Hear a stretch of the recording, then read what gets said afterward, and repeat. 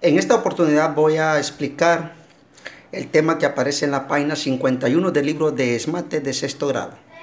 Vamos a desarrollar los problemas, solamente un literal del número 1, que en este caso es el literal E, y el número 2.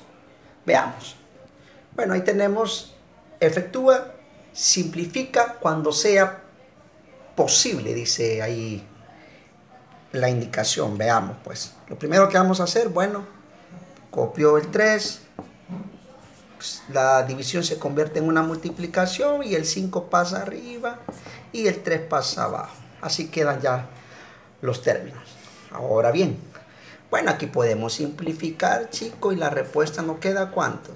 5. Ahí está. Vamos con el segundo. Si 4 galones de sorbete se reparten en porciones de un cuarto de galón, ¿cuántas porciones se, se obtienen? Bueno, pues tenemos los cuatro galones y como dice que se reparten es una división en porciones de qué? De un cuarto de galón. ¿Esto qué va a ser igual, chicos? Bueno, pues vuelvo a copiar el 4, convierto la división en una multiplicación, luego el 4 pasa arriba y el 1 pasa abajo. Y nos queda. Aquí si no se puede simplificar, decimos 4 por 4 y 16 y 16 entre 1, eso les va a dar de respuesta 16. Entonces la pregunta nos decía cuántas porciones se, se obtienen. Se van a obtener 16 porciones.